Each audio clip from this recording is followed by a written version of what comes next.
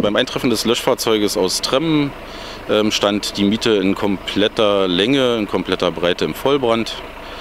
Ähm, ein äh, Fahren der Miete war zu dem Zeitpunkt nicht der Einsatz hier, so wie er jetzt im Moment mit einem sehr umfassenden Löschangriff, äh, die letztendlich immer mehr Wasser raufgibt, als äh, sich der Brand weiterentwickeln kann. Also die Ortsfeuerwehren und die Stadt Ketzin sind mit 46 Einsatzkräften vor Ort, mit mehreren Löschfahrzeugen und einem Einsatzleitwagen.